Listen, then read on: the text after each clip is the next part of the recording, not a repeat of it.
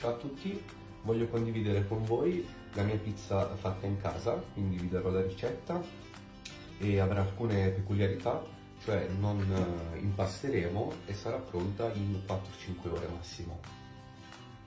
Allora, come primo step ci pesiamo tutti gli ingredienti, io l'ho fatto per motivi di tempo, e abbiamo mezzo chilo di farina, 350 ml di acqua, 6 g di lievito di birra, 12 g di sale e 15 g d'olio, circa 3 cucchiai. Cominciamo subito mettendo l'acqua in questa ciotola, temperatura ambiente, e andiamo a sciogliere il lievito.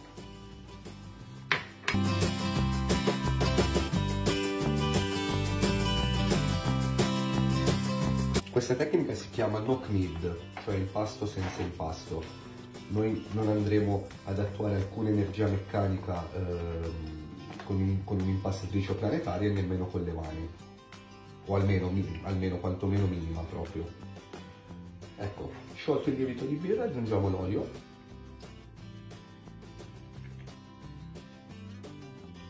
Ecco qua. Farina andiamo con la nostra farina e poi ci muniremo di un cucchiaio. Ecco, a questo punto ci basterà solo fare pochi giri con il cucchiaio in modo da amalgamare tutti gli ingredienti.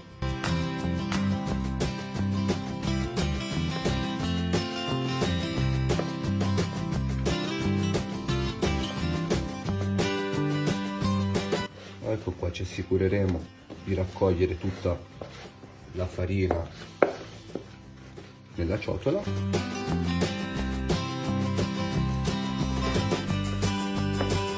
Quando avremo creato una sorta di unione di tutte le parti andremo a mettere il sale. E come detto prima siamo a 12 grammi di sale. Messo il sale continuiamo con il nostro cucchiaio a mescolare. Eccoci qua ancora.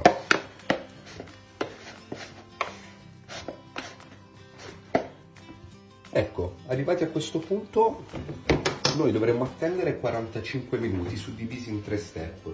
Cioè ogni 15 minuti andremo a fare delle pieghe a questo nostro impasto. Non abbiate paura di questi tempi lunghi tanto tutti i processi enzimatici eh, e anche la lievitazione andrà avanti in questi minuti, quindi eh, non è tempo sprecato. E quindi attendiamo i nostri primi 15 minuti. Allora, trascorsi i 15 minuti troveremo una situazione di questo tipo e ci basterà prendere un po' di farina. Ah, dimenticavo di dire farina basta qualsiasi del supermercato di medio, medio forza, medio bassa forza, va bene Dicevo, eh, prendiamo la farina, ne adagiamo un po' sul nostro banco e con il nostro cucchiaio andremo a far cadere il nostro impasto. Eccoci.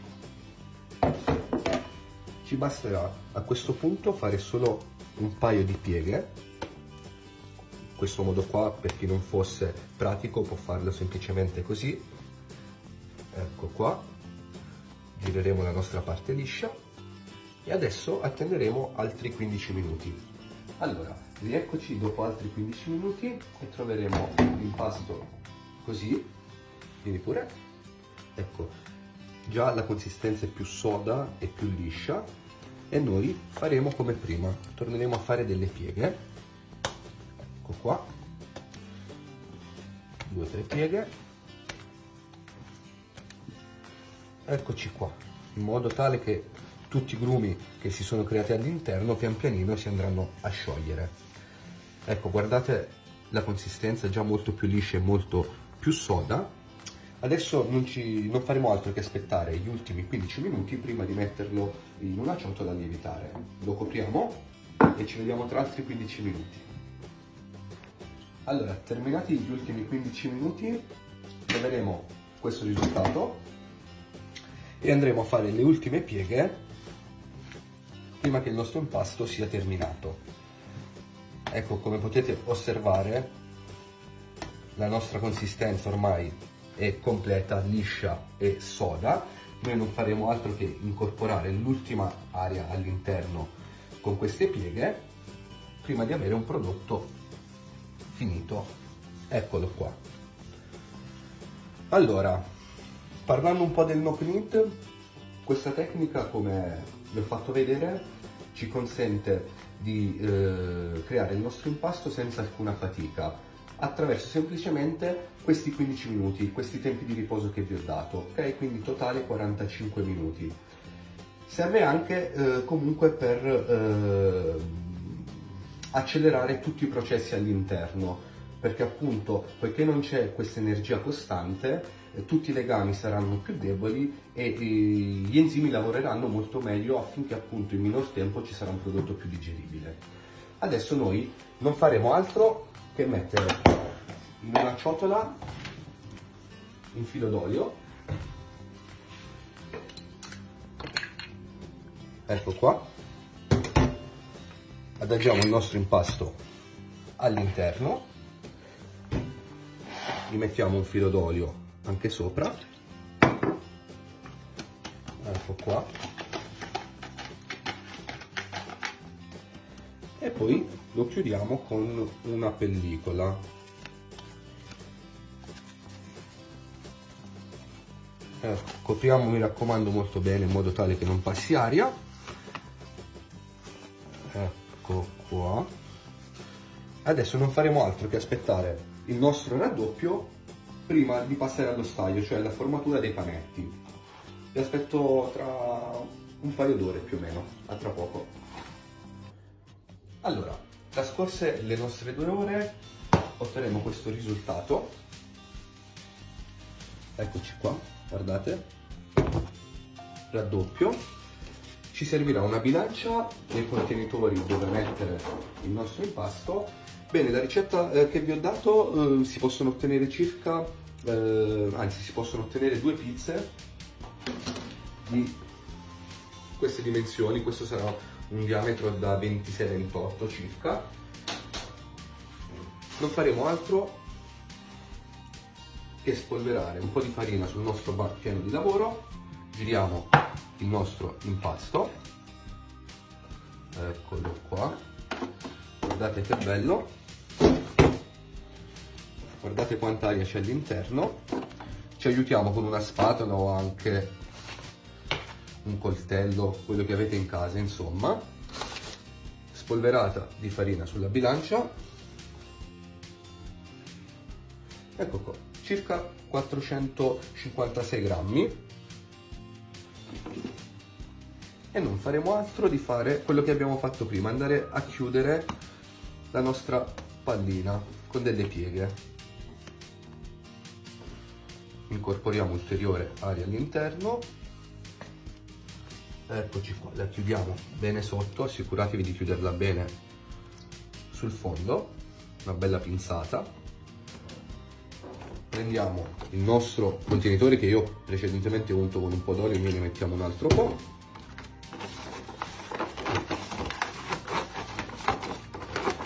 eccoci inseriamo il nostro panetto all'interno. Ecco questo è un po' piccolo se a casa ce l'avete un pochino più grande sarebbe meglio. Lo chiudiamo anzi prima un po' d'olio. Ecco qua. Adesso lo chiudiamo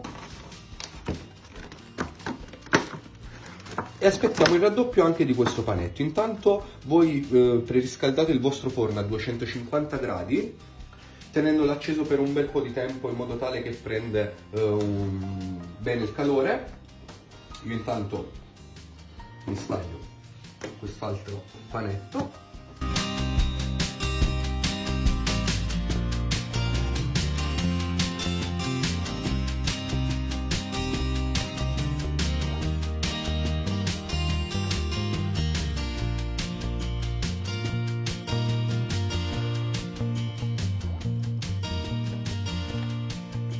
Bene, come ho detto precedentemente, aspettiamo il raddoppio per poi inserirla nella nostra teglia e poi andremo in cottura nel forno. Farcitura e poi cottura nel forno. A tra poco. Allora, siamo arrivati al nostro raddoppio. Prego, vieni pure a far vedere. Io ho spostato ehm, il panetto in quest'altra ciotola proprio per mostrarvi che se non avete un, contenitore del genere va benissimo una ciotola, dopo basta che la copriamo con la pellicola. Prendiamo il nostro panetto, diamo sempre una spolverata di farina sul banco, qui restiamo un pochino più abbondanti perché è arrivato il momento di stenderla, capovolgiamo la nostra pizza, eccola qua, un'altra spolveratina di farina sopra e la giriamo.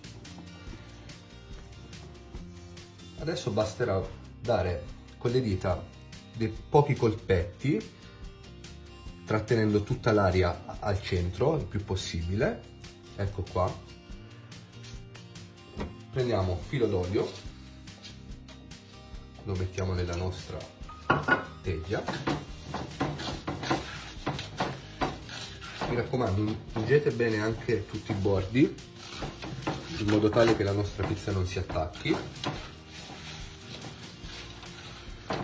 Ecco prendiamo la pizza togliamo la farina in eccesso e la inseriamo nella nostra teglietta allora io sono stata abbondante con la grammatura se la preferite più sottile basterà eh, fare il panetto di qualche grammo in meno a me piace bella alta e soffice ok completiamo l'operazione di stesura. Ci mettiamo qua.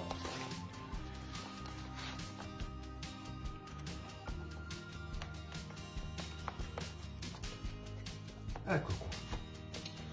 Guardate quanta aria all'interno tutte queste bolle. Sinonimo che i lieviti hanno lavorato bene. Poi adesso vi preparate il pomodoro io il pomodoro a me piace schiacciarlo a mano, se voi preferite nel mini primer va bene anche nel mini primer. Abbiamo il pomodoro, inseriamo in una ciotola,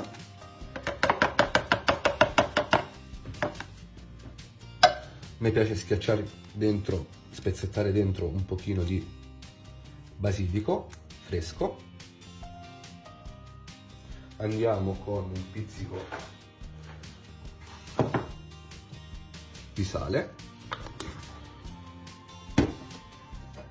giusto una puntina d'olio, ecco qua, e con molta pazienza lo andremo a schiacciare a mano.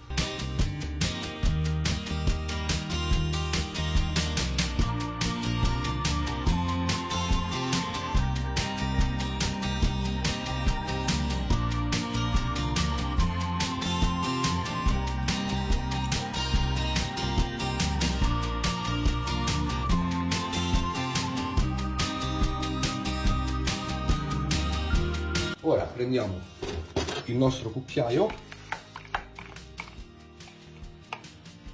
lo andremo a mettere sulla nostra pizza. Ecco, a me piace bello abbondante, quindi sarò molto generoso col pomodoro.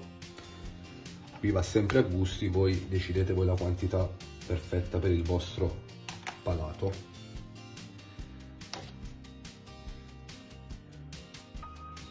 Allora, avete preriscaldato il forno precedentemente a 250 gradi e adesso andremo a infornare.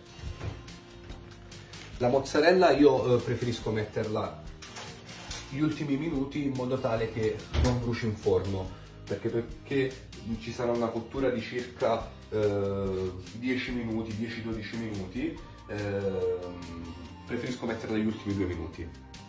Allora, trascorsi circa 12 minuti, prendiamo la nostra pizza. Ecco si presenterà così. Guardate che bella alta soffice. E andiamo a mettere la mozzarella la nostra mozzarella.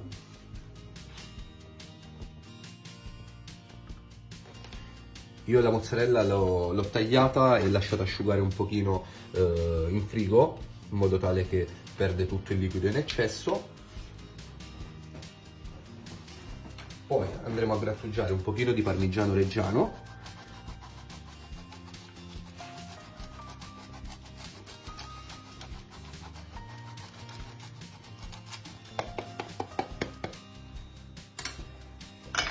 e chiudere con il nostro filo d'olio.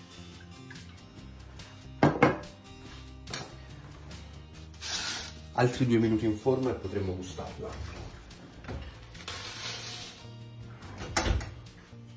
Ecco amici, ci siamo. Ecco la nostra pizza. Wow. Adesso la parte più difficile è aspettare che si raffreddi per mangiarla. Allora, un attimo che cerco di tirarla fuori dallo stampo. Tiriamo fuori.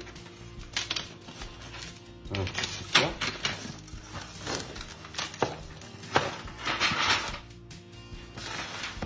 Ecco la nostra pizza, alta, soffice all'interno, croccante fuori e non ci resta che di assaggiarla.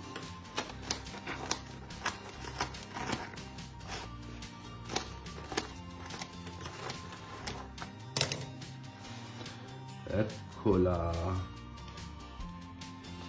Ah, dimenticavo, non possiamo che non mettere delle belle foglioline di basilico.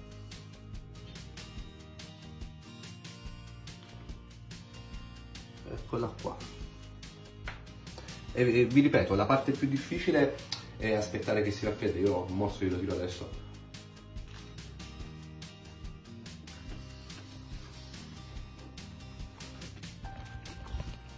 Anch'io.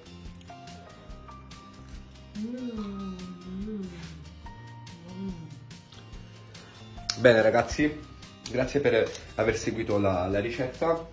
Se vi è piaciuto il video mettete un like e condividete e mi raccomando restiamo in casa che torneremo più forti di prima. Ciao, aiuto!